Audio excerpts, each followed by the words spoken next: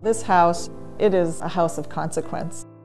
It's proud of itself and it's a little bit verklempt that it's been forgotten and dismissed as an old wreck sitting on a hill. I think that the best thing for the future of this house is that it should be um, loved as a part of the community as it, as it once was when it was first built. It used to stand here, big proud sentinel on Front Street watching commerce go by and, and the territory being built. It's just been waiting instead of being a private residence, uh, being uh, a real community center where we can really reconnect to our founding era here, our version of Plymouth or Jamestown, but when the first settlers came into the Puget Sound region, this is where they planted. And we're really fortunate to have these old houses still surviving.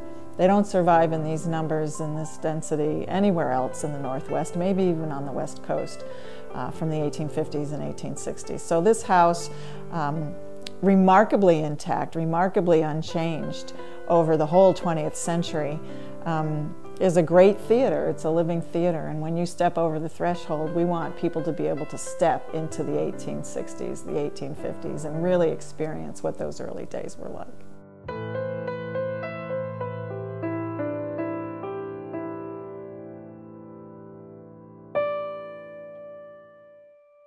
The urgent need is that the house is currently owned um, by a family in the community.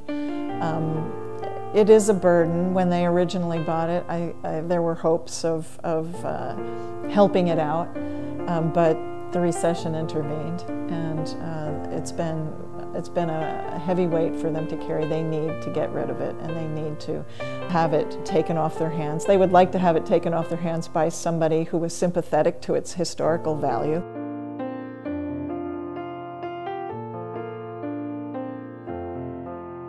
We've been trying to do that for a few years, but uh, historic preservation is maybe not the, the top of everyone's list of philanthropic necessities. And so it's been, it's been difficult to raise the amount of money that will help them get out from under the house.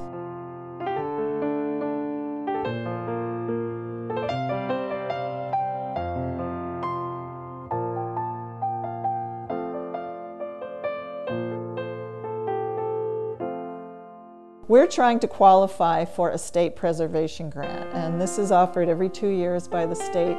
It's a matching grant. The state can provide, if we qualify, a third of the purchase price for the house. We have to come up with two thirds of the purchase price at the time that we apply for the grant. The grant deadline is May 19th, and so we have to have two thirds of the purchase price of the house raised by that date in order to apply we understand that if we are unable to meet the demands of that grant, that the house will more than likely be put on the market this summer. And at that point, what we have here is a derelict building that sits on a really great waterfront lot.